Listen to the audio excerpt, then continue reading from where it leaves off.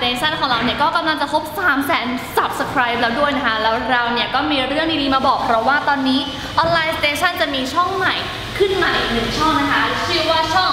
OS Live หรือว่า Online Station Live นั่นเองสำหรับเพื่อนๆคนไหนนะคะ ที่ชอบเรื่องของรายการสดหรือว่า e-sport เนี่ยขอบอกไว้เลยว่า ห้ามพลาดเป็นอันขาดนะคะขอให้กดไลค์กดแชร์นะคะ แล้วก็กด subscribe ช่องใหม่ไว้ด้วย ส่วนช่องเก่านะคะ เราก็ยังมีรายการดีๆมาให้เพื่อนๆได้ดูอีกเหมือนเดิมและอย่าลืมกันนะคะสำหรับใครที่ชอบห้ามพลาดเป็น